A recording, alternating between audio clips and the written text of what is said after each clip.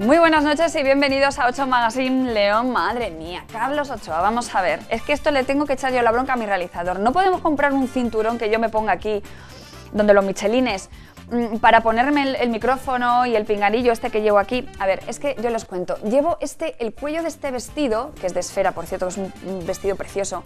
em, llevo el cuello que me va a ahogar, porque hay algo que me tira. ¿Y qué es lo que me tira? Pues todo esto que, es que sale de aquí todos los cables, ¿lo están viendo? Tengo por dentro la petaca del micro, la petaca del pinganillo, porque claro, tengo que tener aquí todo el día Carlos Ochoa metido. Voy a la cama, Ochoa a dormir y te tengo aquí todavía. Bueno, hay veces que también tengo a Patricia abajo, que se va de vacaciones y claro, me vas a echar de menos. Bueno, esta noche muchos temas, entre ellos nos vamos a ir hasta Lorenzana con motivo del segundo encuentro de bolilleras. Se está convirtiendo en un auténtico referente del mundo de, de los bolillos y de las bolilleras y bolilleros. No es difícil, nada más hay que aprender los puntos básicos y luego ya son hacer dibujos. Pero los puntos básicos no es que sean no es que sea difícil, yo es que ya estoy dándole. Pues hay que cruzar lo del medio y luego lo de la ardilla. En unos instantes veremos ese reportaje, como también vamos a ver otro reportaje relacionado con el curso de peluquería y estética de la Academia Ballina. Además, estaremos eh, en esa segunda carrera de eh, Corre por la Vida de Alcles, donde estuvieron más de 1.500 corredores y andarines. Más cosas, en la segunda carrera, no, la cuarta, la cuarta edición de la carrera. Además, también como todos los miércoles, medicina estética con el doctor Diez Luna y hablaremos del Museo Gaudí de Casa Botines porque abre abierto sus puertas, el pasado mes de abril abrió sus puertas a todos los leoneses y mm, visitantes y turistas porque hacían más de 125 años que no se abrían las puertas al público. Pero también vamos a hablar de una iniciativa gastronómica, un foro, el Gastro Gaudí. De todo eso hablaremos esta noche, como digo, pero todo en unos instantes. Hasta ahora.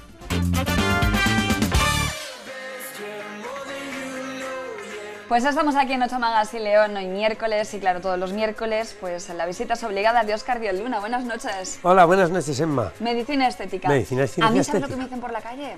Óscar Díaz Luna, medicina estética. La primera consulta, Gratuita, Claro. efectivamente, sí, oye, claro. Siempre Así me lo es. dicen. Así es, así es. es que llevas muchos años con nosotros Muchos y años. eso ya queda, es la frase ¿no? que queda. Claro, es lo que se les queda. Tenemos tres preguntas para ti. Pues vamos a ello. ¿Sí? No son de examen, ¿eh? Bueno, Vamos con la primera. Hola Oscar, Masisa de Nava Tejera nos ha escrito porque tiene una amiga que hace unos años le pusieron silicona a los labios y ahora los quiere reducir. Entonces ella quiere saber si esto es posible. Gracias, Oscar. Pues es, es buena pregunta, porque hay mucha gente, sabes que ahora se utilizan ya otros materiales, como el ácido hialurónico, pero gente, te estoy hablando a lo mejor 15 años, 20, incluso más, que empezaba todo esto, pues tienen los típicos granulomas, esto de, de silicona, que incluso hay alguna ¿A qué llamamos granulomas? Pues mira, te lo voy a decir de una manera muy gráfica. Te diré, no te voy a decir nombres, pero hay alguna famosa que los tiene. Estos labios que se ven como muy artificiales, que tienen como, como los bultitos que le salen así por los lados, Sí. eso que sale por los lados, eso son granulomas. ¿eh? Es una... mm, eh, al ser un material extraño, pues el cuerpo lo rodea y hace una cápsula fibrosa y acaban colgando mm, y dan un aspecto, pues bueno, ¿qué te voy a decir? Algunas famosas que lo tienen por ahí, que tienen esto en los labios de cosas que se ponía antes, bueno, pues eso sí que se puede quitar. ¿eh?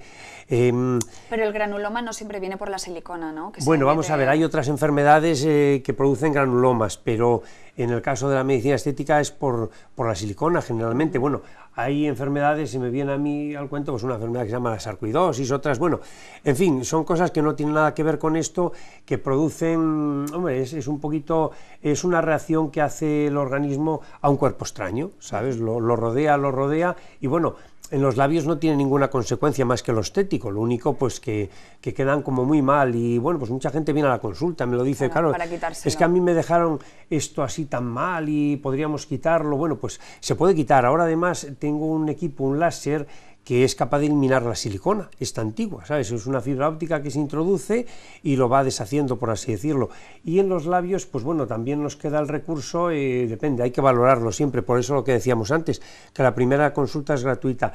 Eh, nos queda el recurso de abrir el labio por dentro, que no se va a notar cicatriz, quitarlo y volverlo a cerrar. Y es, Y un, es un- procedimiento muy sencillo, con anestesia local y ya está. Simplemente la posibilidad que nos brinda el labio, pues es eso, es de, de poder abrir por dentro para sacarlo. ¿eh? Ya te digo que es, que es algo sencillito, no tiene ningún otro problema, pero sí, sí, todos tenemos en mente pues alguna famosa que estamos pensando, que tiene los labios así, esos son granulomas de silicona que se ponía antes, porque hay pacientes que vienen a la consulta y dicen, ay, yo no quiero los labios como estas que salen por la tele. Digo, no, hija, no, eso son cosas que se hacían antes, ahora no... Antes no se llevaba todo muy voluminoso. Claro, claro, y luego además mm, a veces quedaba bien, pero luego se acababa desprendiendo y queda así como, como colgando por los laterales. Pues esos son los granulomas de. Nos vamos de con la segunda pregunta, Vamos a ¿vale? ello. Venga. Hola Oscar, Sofía García desde Moñar nos ha escrito porque quiere saber que cómo se pueden disimular o eliminar las formas de orejas rasgadas que son tan poco favorecedoras. Gracias Oscar.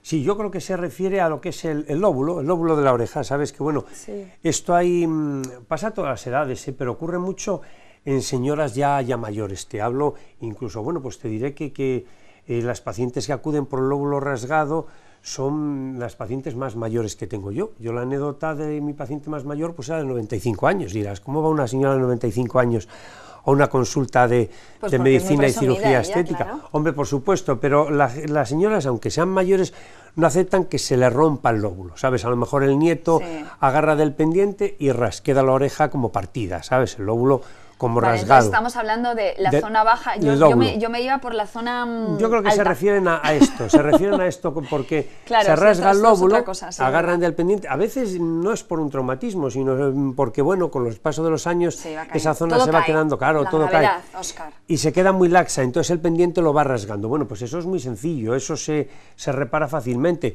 Cortarlo un poquito, coserlo y ya está. Y ¿eh? solucionado. Y solucionado, ¿ves? Así de ¿Y la sencillo. gente que tenga esto en pico? Así como, Bueno, como- ¿cómo se mm, llama? El, eh, el eso, son- eso hablaremos un día. Em, más que eso, hay el- las orejas suelen ser las orejas en asa o en soplillo, que viene a ser, porque ves, el, este pliegue, este ¿Sí? Ah. pliegue no está hecho, entonces queda así. O tiene mucha concha, que llamamos, que está por detrás muy grande, eso también es muy, muy sencillo. ¿eh? Vamos con la tercera pregunta, venga. Hola doctor, Sara Sánchez desde aquí, desde León, nos ha escrito porque hace muchos años se hizo un tatuaje y quiere saber cómo se puede eliminar. Entonces nos pregunta que cuál es el método más efectivo. Gracias Oscar. Tenemos un minuto para Pues buena pregunta, sí, se puede eliminar de una manera muy sencilla, gracias al láser, a un moderno equipo que disponemos, eso sí, necesitamos tiempo, ¿eh? Eh, no muchas sesiones, estamos hablando de cuatro o cinco sesiones, pero van espaciadas en el tiempo, quiere decir que dos, tres, cuatro meses y la tinta, poquito a poco, en el transcurso de un año, se acaba eliminando, sobre todo los negros y los rojos. El azul clarito, el amarillo, el verde, es más difícil, pero los otros se eliminan muy bien, porque ya te digo, tenemos un moderno equipo y podemos eliminarlos, que está muy de moda ponerlos, pero también eh, por eso mismo, porque la gente los quita porque los ha puesto, si no los pusieran no los, no los tenía que quitar. habría Además, negocio, Óscar, Claro, claro, claro.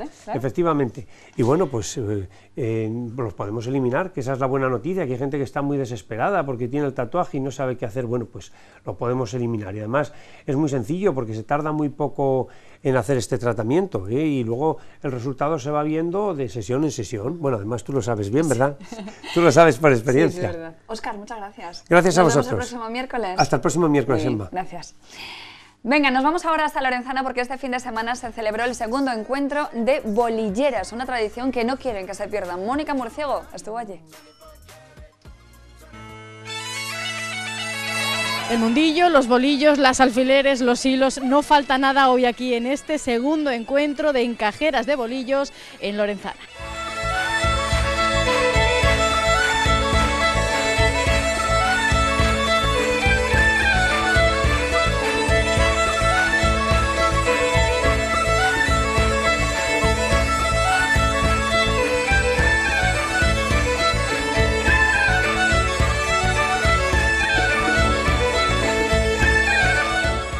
Ya lo ven, segundo año y segundo año que no falta nadie a esta cita con el encuentro de bolilleras.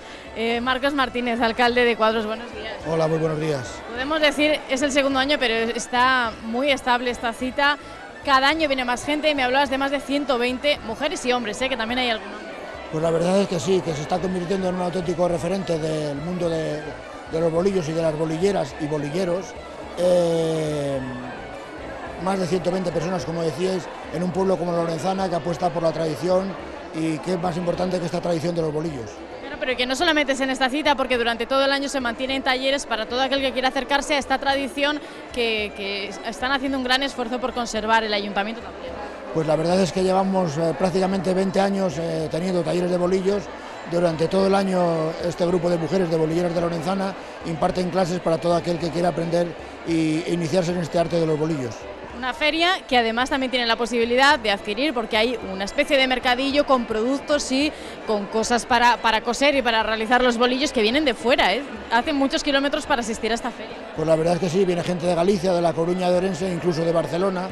Y también en el encuentro de bolilleras, pues asisten bolilleras, aparte de las de aquí de Lorenzana y de la provincia de León, de zonas como Palencia, como Gijón y también de Cantabria. Y el alcalde se ha animado a practicar la habilidad de los bolillos. La verdad es que es un arte muy complicado y yo creo que requiere mucho tiempo del que no disponemos. Bueno, pues muchas gracias Marcos Martínez, alcalde de Cuadra. Muchas gracias a vosotros.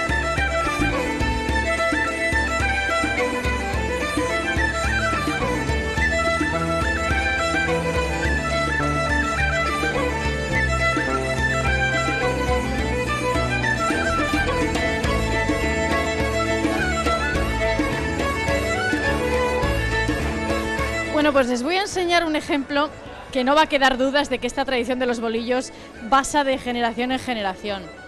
Israel, buenos días. Buenos días. A ver, Israel viene de Palencia, ¿verdad? Y ha venido con su abuela, que es encajera. Y a ti esto de los bolillos, ¿tú cambias los bolillos por la patrulla canina? Sí, A ver, mira la cámara para que nos vean desde casa. ¿Y a ti por qué te gusta esto? ¿Te ha enseñado tu abuela? sí. ¿Y cómo se hace esto de los bolillos? A ver, porque yo no tengo ni idea. Cuéntame, ¿cómo se hace?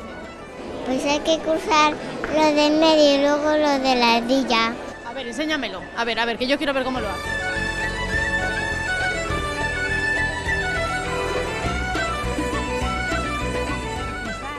Ah, que se le ha olvidado. A ver, la abuela que está aquí. El otro conseguirla. Venga. Orgullo de abuela, supongo, de ver esto. ¿Cómo se te ocurre un día decir, voy a enseñarle a mi nieto Israel? Que vale, y tengo que llevar a los encuentros y se aburre y como a veces dan regalos y a él no le dan, dice que a él. Dice, como no es bolillero, dice, quiere aprender y por eso está aprendiendo. ¿Cuántos años tienes, Israel? Cinco. Cinco años, cinco años. ¿Y el dibujo que estás haciendo qué es? A ver. El punto entero.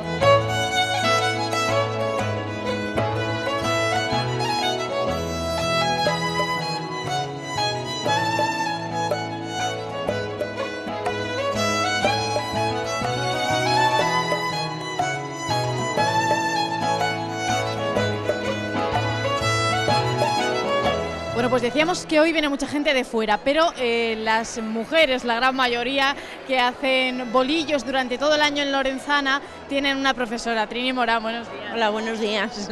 Bueno, están bien enseñadas. Yo no sé si notáis que cada vez se acerca más gente joven a practicar esto. Sí, sí, sí, sí. Este año se me van a apuntar además otras tres por lo menos. Les cuesta mucho aprender, empezar de cero. Yo me pongo en- como yo, como ejemplo, que nunca he hecho bolillos. Es difícil. No, no es difícil. Además hay que aprender los puntos básicos y luego ya son hacer dibujos. Pero los puntos básicos no es que sean no es que sea difícil. Yo es que ya estoy dándole. ¿Cuáles son esos puntos básicos, además de tener mucha habilidad en los dedos? Sí. Pues los puntos básicos es el que se llama el torchón, que es el, el que se hace con todo.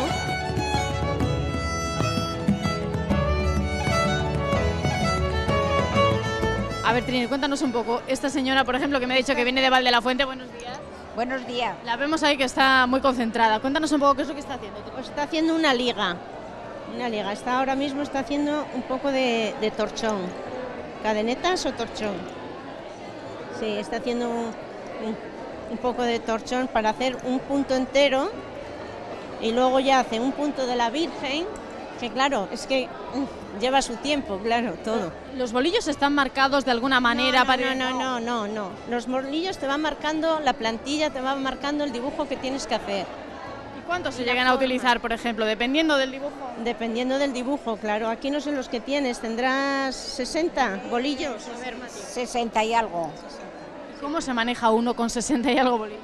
Bien, una vez que, una vez que le has cogido el truco, bien.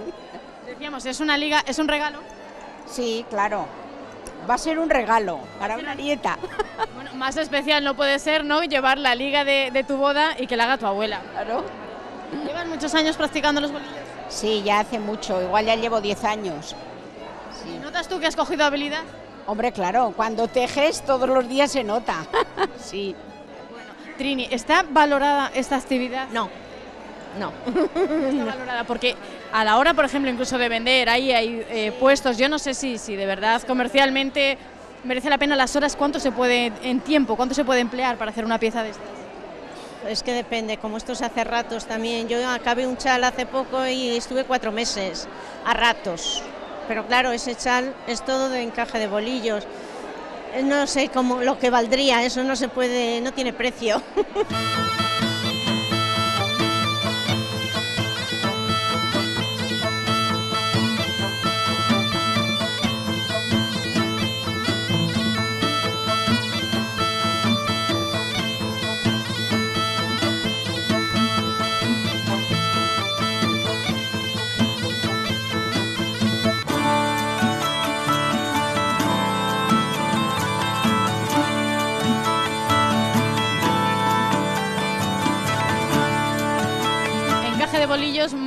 madre e hija, mano a mano, Manoli y Mónica, buenos días. Buenos días.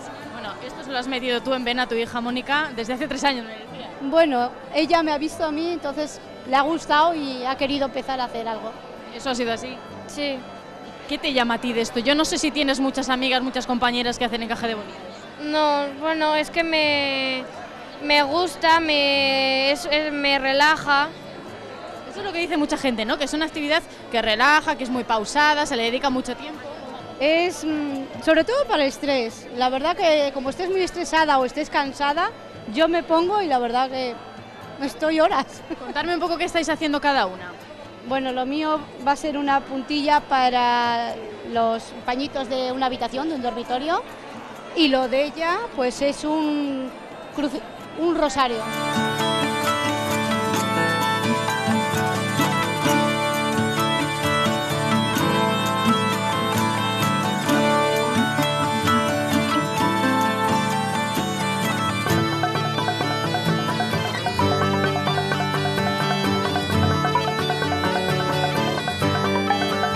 Bueno, pues ya lo han visto. Segundo encuentro de bolilleras, de encajeras, de bolilleras en Lorenzana y todo un éxito porque cada vez viene más gente. Es el segundo año que me toca venir a mí. Prometo aprender para el año que viene. De momento voy a intentarlo, compañeros.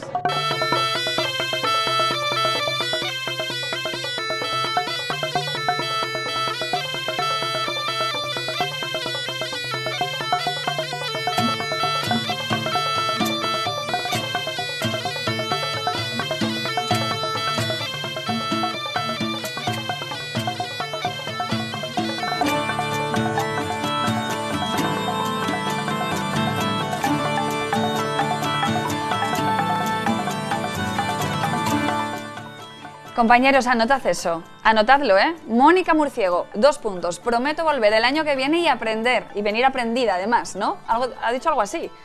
Mónica Murciego, que aquí no se nos escapa nada. Así es que para el año que viene, Mónica Murciego que vuelva a Lorenzana, al tercer encuentro de encaje de bolillos, ¿no? Digo yo. Ay, que es que lo archivamos todo, lo guardamos todo. Patricia Abajo, que por cierto se va de vacaciones, está muy apenada, muy triste porque nos va a dejar durante unos cuantos días. Archívalo, archiva este corte, archívalo, guárdalo y se lo ponemos a Mónica el año que viene. Bueno, em, vamos a continuar porque tengo, bueno, durante todos estos días yo se lo, se lo he dicho. Vamos, dentro de poco vamos a empezar a sortear tazas como esta, tazas corporativas, tazas que están, que tienen el, a ver, ahí está, que tienen el logotipo de la 8, de 8 Magas y León, pero no con este color, con el color amarillo, porque es nuestro color. El color amarillo en esta nueva temporada es el color de 8 Magas y León. Pero es que Gráficas que Arte no solo hace estos diseños, sino que también hacen impresión, rotulación, diseño exclusivo de una marca. Gráficas que Arte te ayudan en la creación o en la impresión, depende de lo que queráis. Tienen tarjetas, flyers, folletos, vinilos, lonzas, lienzos, eh, lonzas no, lonas rígidos o lo que se os ocurra. Y si además como nosotros necesitáis corporativos, pues también contad con ellos porque os van a ayudar, no solo a través de Gráficas que Arte, sino también a través de su página customice.com, con Q y con dos M's, customice y con Z, Q, dos M's y Z.com. Bueno, vamos a continuar porque em, este fin de semana llega una de las fiestas más tradicionales y con más solera de nuestra provincia. Hablamos de esta, precisamente. La fiesta en honor a la Virgen del Rosario, popularmente conocida como la Cañamona, una tradición con más de 400 años de antigüedad y que además es declarada de interés turístico provincial. El alma mater de las fiestas, la Cofradía de la Virgen del Rosario que reúne a cerca de 1.200 cofrades. ¿Qué nos vamos a encontrar este fin de semana? Verbena, reparto de avellanas, deporte y patatas con carne, que están buenísimas las patatas con carne, madre mía. Así que nosotros estaremos allí en la Cañamona, disfrutaremos con todos sus vecinos porque se reúne muchísima gente en torno a su Virgen, a la Virgen del Rosario. Pero es que además, coincidiendo con esta fiesta, nosotros tenemos un programa que todos los vecinos esperan con muchísimas ansias. Ya sabéis, historias de pueblos y sus gentes y otras mentirijillas este viernes desde Matanza de los Oteros.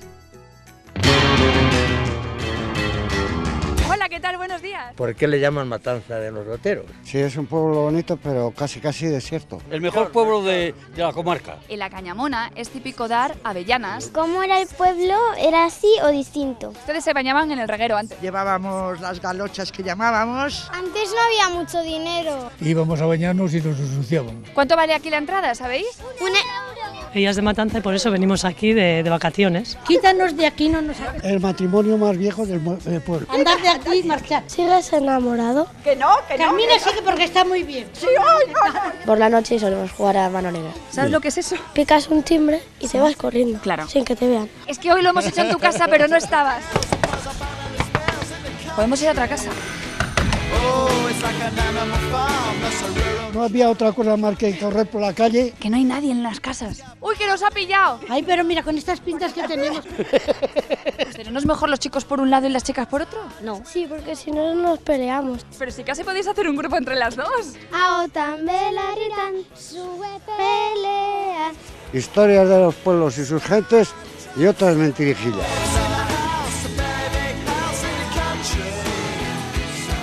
Me encanta cuando voy por los pueblos y me dice la gente, sí, la del programa Historias de la de las mentirijillas. Hombre, yo no digo mentiras, las mentiras la- las dicen ustedes, los de los pueblos, o no, no lo sé. El programa se titula así.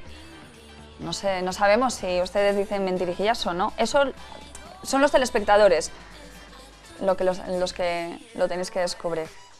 Bueno, vamos a continuar, pero nos vamos a ir a publicidad antes porque a la vuelta vamos a hablar del Museo Gaudí en Casa Botines, pero además también vamos a hablar de un foro gastronómico llamado Gastro Gaudí.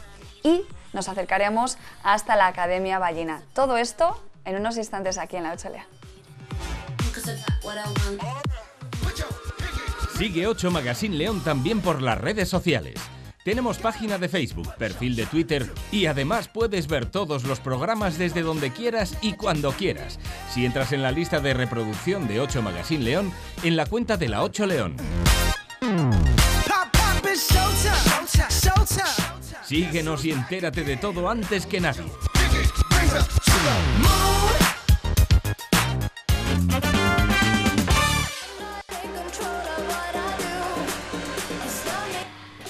Bueno, pues vamos a continuar con el programa y ahora nos vamos, eh, vamos a hablar de cultura. Vamos a entrar, a adentrarnos en un edificio que hacía 20 125 años que no se abría al público y hoy vamos a conocer su interior. Bueno, muchos de los telespectadores que nos están viendo seguro que ya se han adentrado, seguro que ya lo han visitado porque el pasado mes de abril se abrió al público, pero nosotros hoy queremos hacer balance de ese Museo Gaudí, Casa Botines. Y por eso tenemos aquí con nosotros a dos personas que nos van a hablar largo y tendido de este museo. Tenemos con nosotros a Chema Viejo, director de comunicación. Buenas noches. Buenas noches. Y a Diego Diez, guía de visitas. Buenas noches. Hola, buenas noches.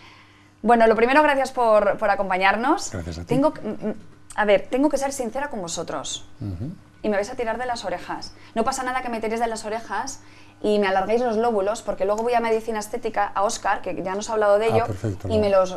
Lo enganchamos Lo- entonces sí. con lo siguiente. bien. ¿Sabes? Y ya me, me lo cose, me lo corta, me lo cose, no pasa nada. Todavía yo no he podido ir, no me he acercado. No, no te vamos a tirar las orejas, pero sí te vamos a insistir en la conveniencia de ver un edificio tan fantástico como Casa Botines. Mm.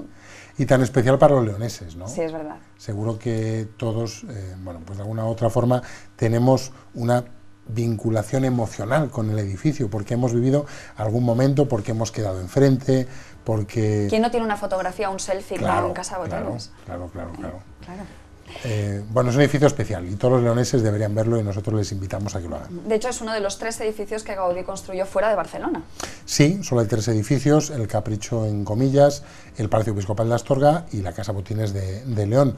Pero sí que tenemos que decir que quizás la Casa Botines es el edificio en el que Gaudí tuvo una implicación eh, profesional más intensa, porque él, por ejemplo, en comillas nunca llegó a estar, nunca visitó comillas, hizo el diseño del edificio, envió los planos, pero nunca estuvo. Nunca estuvo en Astorga, efectivamente estuvo, y bueno, pues tuvo también una relación intensa en aquel momento con el obispo, que fue el que propició esa construcción, pero en Botines él puso en marcha soluciones arquitectónicas que de alguna forma han sido recurrentes a lo largo de toda su, de su trayectoria y bueno, los estudiosos del tema eh, y, de- y los expertos en Gaudí coinciden en que es un edificio muy singular dentro de su producción. Hmm. Muy poca gente sabe que en realidad no se llama Casa Botines, tenía un nombre. Eso lo puede explicar Diego mucho mejor que yo.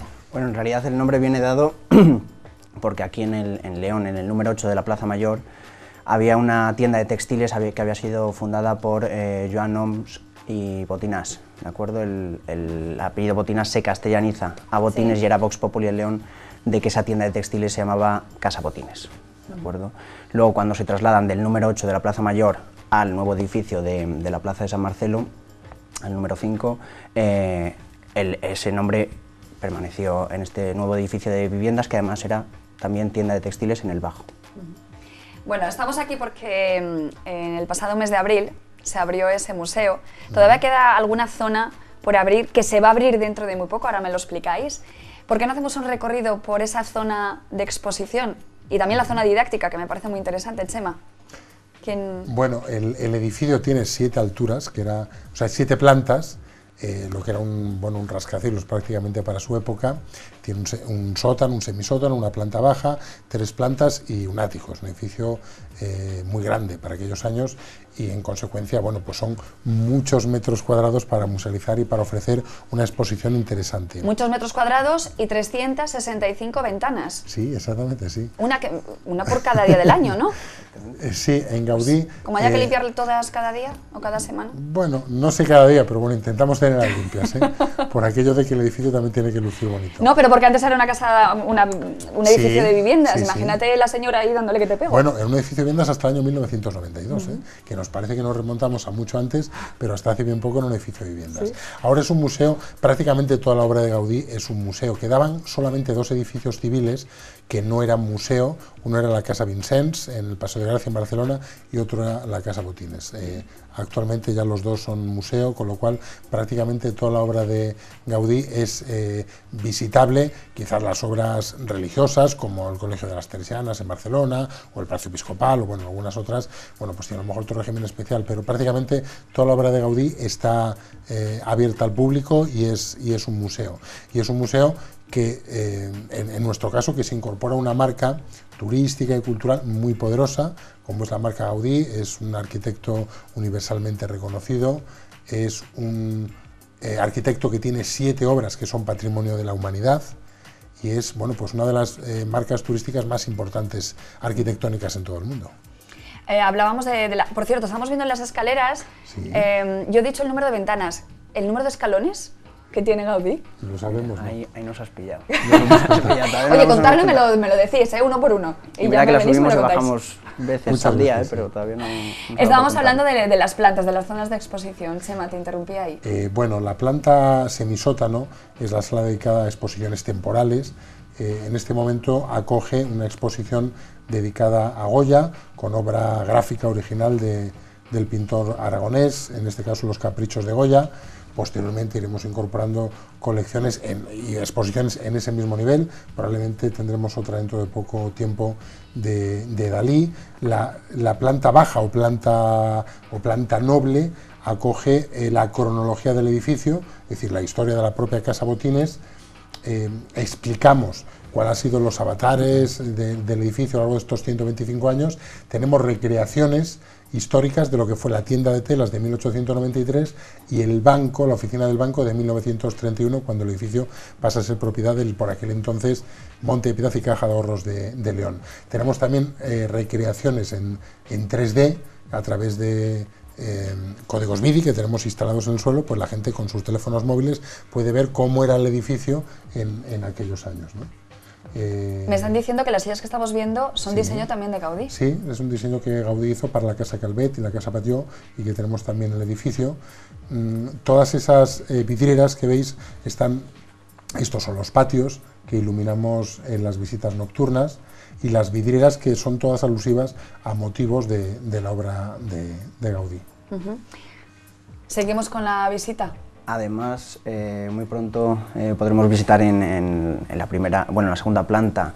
Estamos trabajando en hacer una recreación de cómo estaban las viviendas en origen, ya que hasta el año 92 fue edificio de viviendas, incluso cuando aún pertenecía al banco. Eh, también, haremos en, esa misma segunda planta una parte dedicada a Gaudí, el arquitecto de los sueños, una parte muy lúdica, muy interactiva, con, juegos para niños, con un Gaudí en 3D, con el cual se va a poder interactuar también para introducir a, los, niños y a los jóvenes eh, un poco en la cultura, que, se rompa un poco esa barrera de que el museo es algo eh, para una élite muy culta, ¿no? es, el museo es para todo el mundo, en el cual haremos actividades culturales de todo tipo. Y además eh, la visita continuará en la tercera planta con una colección de pintura española del siglo XIX, aquella coetánea Gaudí, con artistas tan, tan representantes y tan importantes como Sorolla, Solana, eh, Ramón Casas, entre otros. Y luego tenemos también una zona eh, cerrada al público, pero bueno, también con cursos, con, diferentes actividades que, aunque está cerrada al público, pero realmente os va a valer para, para, precisamente esas actividades y que la gente se apunte, ¿no? Sí, es una parte muy importante dentro de la actividad museística que es el departamento de didáctica y actividad cultural, ¿no? Es el departamento que gestiona toda la actividad educativa de la, del museo con cursos que gestionan las visitas escolares, formación especializada en el ámbito de, historia, de historia del arte, de, arquitectura, de patrimonio y que también bueno, pues intenta eh, que el edificio eh, sea también un agente de dinamización cultural y que sea también escenario de eh, actividades de carácter científico, académico o tecnológico. Mm. Vamos ahora con los días de visita, con, con, los horarios y el precio de la entrada, porque eso es importante también, que la gente sepa qué día y a qué hora se puede acercar hasta el museo. Pues eh, miren, estamos abiertos de lunes a domingo, de, de 11 a 2 y de 5 a 9. Lo único que los miércoles por la mañana y los domingos por la tarde estamos cerrados. Los miércoles por la tarde, eh, además, la visita es gratuita para el acceso general y con descuento para la, visita premium, la visita guiada y independientemente de todo, todos los días de la semana hay descuentos para mayores de 65, menores de 12, estudiantes con carne universitario y eh, desempleados. Oye, una cosa, yo no sé si tenéis eh, alguna conexión con el resto de edificios construidos por, o diseñados por, por, Gaudí, pero en Barcelona, ¿tenéis algún contacto, algún tipo de comunicación? Sí, de hecho eh, intentamos fomentar ese aspecto porque lo consideramos muy importante. Gaudí mm, es eh, probablemente el principal atractivo turístico de Barcelona. Eh, la Sagrada Familia la visitan todos los años más de 11 millones de personas, ¿no? Eso eh, da idea de lo que representa Gaudí. Nosotros formamos parte de la Ruta Europea del Modernismo, eh, tenemos vínculos con la Asociación de Amigos de Gaudí, tenemos nuestra propia asociación de, amigos y amigos del museo y tenemos una relación bastante fluida con todos los edificios y bueno, intentamos que León se incorpore a través de Casa Botines a ese movimiento internacional que es eh, importantísimo en países como por ejemplo Japón, que bueno, pues Gaudí es la primera razón por la que un japonés viene a España. ¿no? Intentamos que León sea también pues un punto atractivo para que lo visiten. Chicos, para, para los japoneses que nos están viendo, No hablamos japonés. ¿eh? ¿No? No. Pues tú deberías hablar un poco chino. Sí, chino Un sí. poquito. Tengo todavía algún recuerdo. Para. A ver, que no se me vean aquí lo- los encantos. Para los japoneses y los que no son japoneses que nos están viendo y todavía no saben, o todavía se siguen preguntando, si el hombre que está sentado enfrente del edificio Gaudí, de, de la Casa Botines, es Gaudí o no es Gaudí. Bueno, pues sí, efectivamente es Gaudí. Vale, Para aclarado. todo el mundo es Gaudí y significa un icono para la ciudad de León eh, tener un edificio como es Casa Botines por un arquitecto eh, tan internacional, conocido a todos los niveles culturales de Tokio a Nueva York, como es Gaudí, y para todo el mundo es Gaudí. ¿Qué tal se come, por cierto, en Casa Botines? ¿Qué tal coméis vosotros? Nosotros bien, bueno, la casa Botines de momento no se come. ya, ya, pero vosotros ¿qué tal coméis? Nosotros bien, la verdad que... No, digo porque tenéis gente muy allegada que os, os puede ir dando consejos de, no sé, cuál es la mejor gastronomía, platos que podéis elaborar en casa, qué restaurantes podéis acercaros, no sé cuál, ¿no? Claro, porque, eh, bueno, pues Gaudí, la arquitectura es un arte, la gastronomía también, entonces intentamos que también alimentarnos artísticamente. Tenemos una visita. Lo sé. ¿Quiénes son? Bueno, pues son nuestros amigos de Gastro Gaudí, que son, bueno, pues el proyecto que va a impulsar, eh, bueno, eventos gastronómicos dentro del museo. Acercaros, por favor, porque mm, Juan y Agustín, ¿verdad? Sí. Dentro de unos instantes vamos a hablar con vosotros de ese proyecto. Trae- ¿Habéis traído la guía gastronómica? Bueno, algún ejemplar hemos traído, Sí, vale. Vamos a hablar de eso y vamos a hablar de Gastro Gaudí, Ajá. que es un foro, un foro de reunión para muchos profesionales, también para los propios consumidores, pero de eso vamos a hablar en unos instantes, ¿de acuerdo? Chicos, Diego, Chema, muchísimas gracias por acompañarnos. Os prometo que voy a ir, ¿eh? Y luego nos No vamos a comer. menos. Claro que sí, sí. Vale, Hacemos genial. el pack completo. Bueno, vamos a continuar porque antes de hablar con Juan y con Agustín de Gastro Gaudí, nos vamos a acercar con Patricia Alaez hasta la Academia Ballina. Comienzan los cursos de peluquería y estética. Un buen peinado, un buen maquillaje, tanto mujeres como hombres somos muy presumidos y siempre queremos buscar el mejor profesional que nos ponga bien guapos. ¿Dónde se forman estos profesionales aquí en la ciudad de León? En la Escuela de Peluquería y Estética Ballina, así que vamos a conocer sus servicios. Y entrando en la habitación, se me los sentidos, se corta la respiración. Ven que yo te quito el frío. Cuando tus manos me acarician por el cuerpo, siento el calor de que algo se quema por dentro. Ven aquí, dímelo. Lo que tú buscas lo tengo yo. Se siente caliente, noche de. Bueno, pues ya estamos aquí, vamos a conocer un poquito los, los cursos, todas las opciones que tienen los diferentes estudiantes que se quieran a dedicar al mundo de la estética y la peluquería. Marí, muy buenos días. Hola, buenos días. Centro de Estética Ballina, un centro de referencia aquí en León. Bueno, pues sí, por la cantidad de tiempo que llevamos ya dando estos cursos y con la escuela, pues muy- un, tie- un centro muy antiguo. ¿Cuántos años aproximadamente tenéis de Pues- experiencia formando a profesionales? Pues aproximadamente unos 40 años, 38, 40. 40, aproximadamente 40 años formando a los bueno, jóvenes o no tan jóvenes, cualquiera que se quiera animar ¿no? a practicar en este mundo, tienen que, enseñar, eso, bueno, tienen que aprender vosotros a enseñar, eso es lo fundamental. ¿Cómo lo trabajáis aquí? Bueno, pues trabajamos la enseñanza de forma que los alumnos en los cursos tengan clases teóricas, tengan clases prácticas y, y dándoles mucha caña para que aprendan mucho, porque esta profesión, tanto la estética como la peluquería, consiste en hacer mucha práctica y trabajar mucho los trabajos para que puedan aprender a hacerlo bien.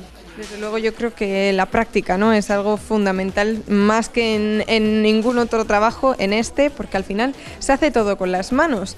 Tenéis la parte, en esta, en esta primera planta tenéis la parte de peluquería. ¿Qué tipo de cosas trabajan aquí?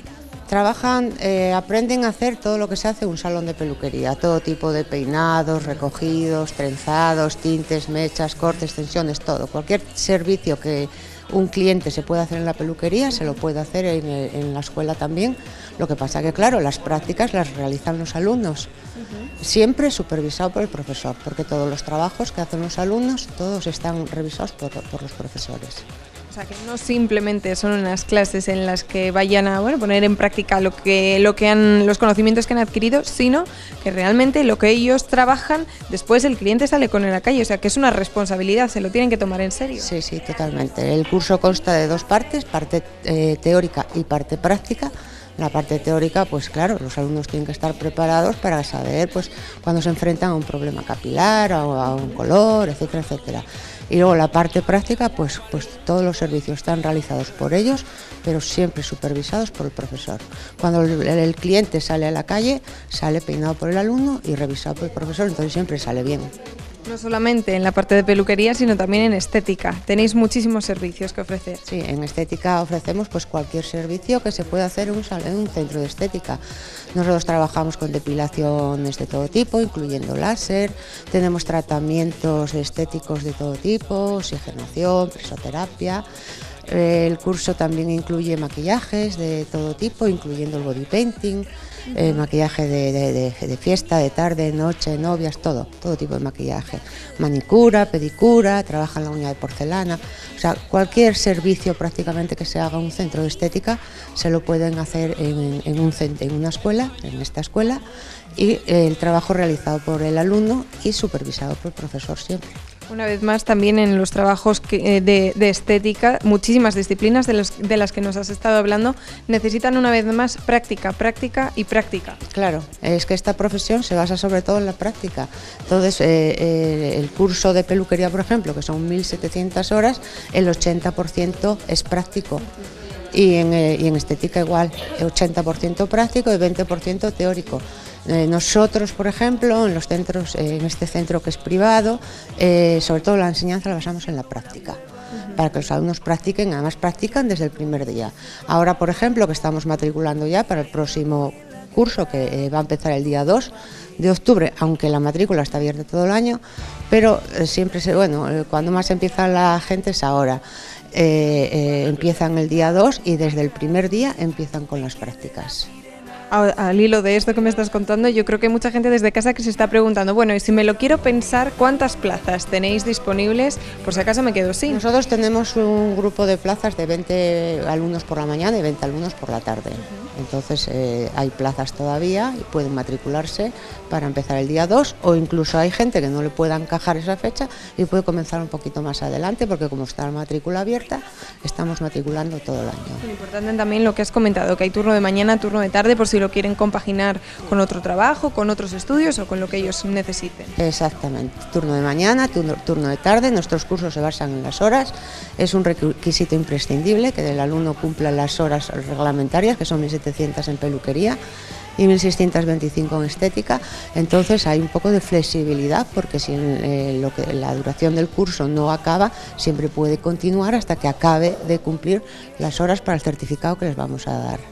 Bueno, pues muchísimas gracias por contarnos cuáles son las oportunidades que tenemos aquí, Mari. Pues de nada. Vosotros ya sabéis, aquí en la Escuela Academia de Peluquería y Estética Ballina tienen las puertas abiertas para todos los futuros profesionales de peluquería y estética. Os esperan. Yo ya me olvidé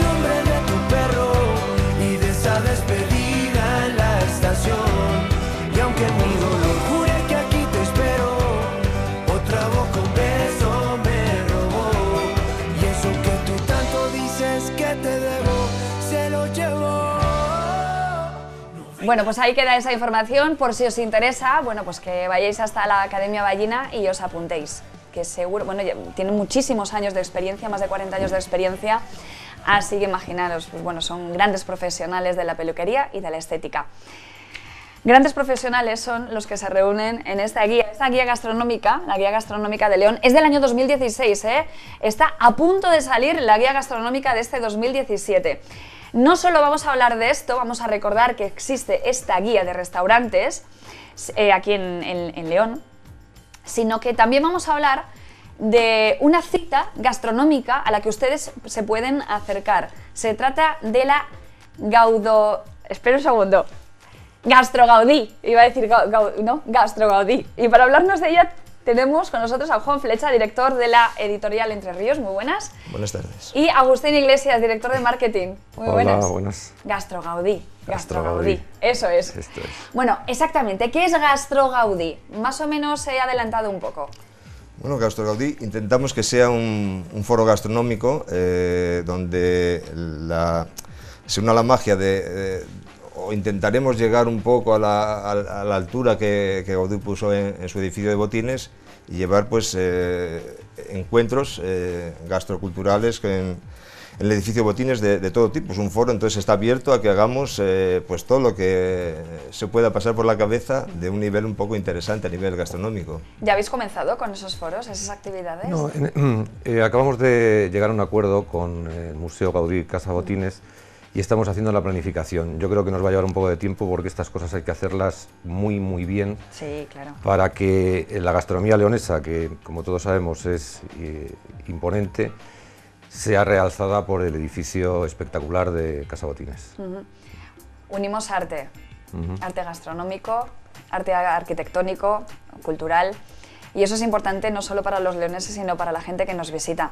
Eh, hablabais que en esos foros eh, queréis recibir a gente que conozca realmente, que sepa de nuestra gastronomía, no solo a profesionales, sino mm, a otra gente que también tiene mucho que aportar en este mundo gastronómico, muchas ideas.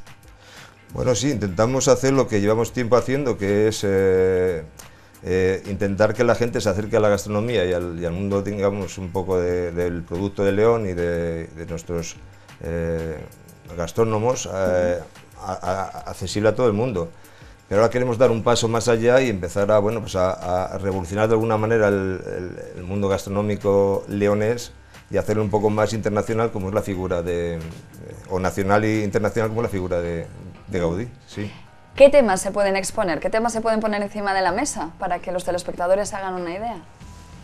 Mm, Vamos a dejarlo de momento en suspenso. Eso. Lo que sí podemos decir es que van a ser experiencias únicas. Ujú. Lo que queremos es que en Gaudí la gastronomía para el que vaya eh, no sea comer y cenar, sino que sea una experiencia. Y una experiencia distinta a lo que Agustín, yo creía que me ibas a decir, pues, vamos a debatir sobre las tapas que damos en León. Eh, sería un buen debate ese, sería, sería un buen debate, em, porque todos sabemos que las tapas es una de las mejores cosas que tenemos en León Sí. y al mismo tiempo eh, no tan buena. Pero bueno, eso es un debate que no voy a abordar por eh, eh, prudencia. Vale, em, yo os voy a decir una cosa por si os interesa, pero que sepáis, además se lo estamos diciendo a todos nuestros telespectadores, estamos buscando tertulianos. Dentro de muy poco, 8 Magazine León va a poner en marcha tertulias, debates, eh, con gente de, la calle, con gente normal, gente que se dedica a cualquier profesión, y vamos a poner encima de la mesa diferentes temas. Yo estoy pensando que uno de ellos, uno de esos temas podría ser precisamente el tema de las tapas. Sí, es bueno que ciertos bares o ciertos restaurantes den eh, abundantes tapas o es mejor dar una tapa un poquito más... em, no sé, no quería decir escasa, pero un poco más elaborada, un poco más con más, con más diseño, eh, menos contundente, menos, pero que realmente eh, sobresalga el arte gastronómico Claro. en esas tapas. Es- Yo no quiero abrir un debate ahora, ¿eh? Yo Agustín. simplemente te digo una cosa, es un tema muy controvertido, evidentemente, pero lo que hay que pensar es que también tenemos restaurantes en León y los restaurantes eh, tienen que trabajar. Si la gente cena de tapas, eh, los restaurantes no trabajan. Y ahí Bueno, lo dejo. Es un buen tema para debatir. Así que si vosotros que nos estáis viendo queréis venir a debatir, a hablar sobre diferentes temas, entre ellos este, tenéis que escribirnos a la dirección de correo electrónico 8magacineleon.rtvcil.es. Bueno, estamos en todas las redes sociales, nos buscáis aquí y si no nos escribís a este número de teléfono 670782285 y eh, nos decís, oye, que, que queremos ser tertulianos, que queremos ir al programa a debatir. Bueno, pues si tenéis eh, dones dotes de comunicación y tenéis mucha labia, pues os venís. Lo mismo Agustín y Juan, también les apetece hablar de gastronomía de este... Bueno, pues sí. Bueno, vamos a. mm, En, esos, eh, en esas actividades referentes a, a esta iniciativa, GastroGaudí, no solo va a haber foros, me imagino, ¿no? sino que también vais a llevar a cabo otra serie de iniciativas y actividades Sí. gastronómicas.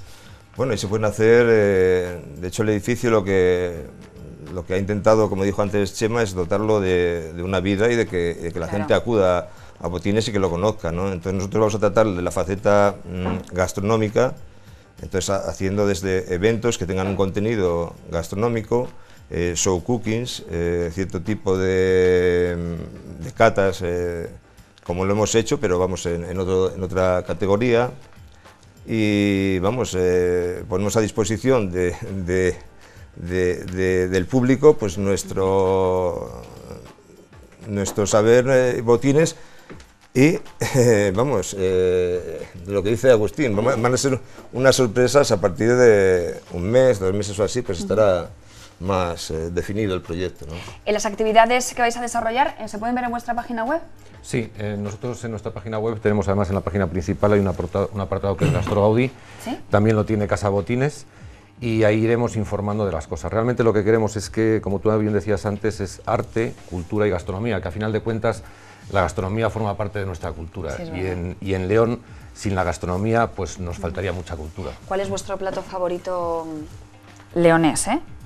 Leonés, eh, yo el mismo es muy sencillo, a mí son unas patatas con carne. Ay, qué Eh, sencillo. sí. ¿Patatas con carne? Sí. ¿Qué tienes que hacer este fin de semana? Eh, cocinar. Pues no cocines, escucha, tienes que ir a Matanza de los Oteros, porque Claro. se celebra un año más la Cañamona, Bueno, pues... eh, en honor a, a su Virgen del Rosario. Hacen unas patatas con carne, ¡mua! pues una comida popular, claro, no tiene nada que ver con unas patatas con carne que se, puedes hacer tú en casa para ti para tu mujer, pero mm, unas patatas con carne populares, Hombre, en todo caso, nosotros hacemos muchas visitas a, como guía gastronómica, acudimos a muchísimos eventos de este tipo, entonces estamos encantados de, de ir a todos los sitios donde, Atentos. donde seamos llamados, evidentemente, sí. ¿Y tú? Yo soy eh, eh, muy normal, el cocido. El cocido. Sin un cocido no se puede pasar, ¿Antes la sopa? por supuesto. Vale. Y si es en Astorga, después. ¿No mezclas la sopa y los garbanzos como mi hermana y como mi padre? También. ¿Ah, sí? también, también porque me lo enseñaron desde pequeño mis abuelos.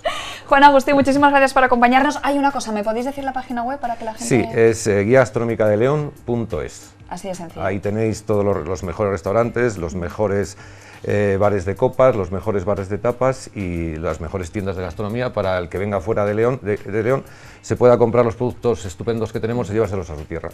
Pues muchísimas Ah, gracias. bueno, una cosina, eh, este año abrimos una sección nueva que es eh, Productos de León, otra que es alojamientos eh, en León y la provincia entera. Quiero decir que empezamos también a viajar por la provincia a nivel restaurantes, de bares, un poco de, bueno, Qué bien. pues, eh, de abrir más la, la oferta.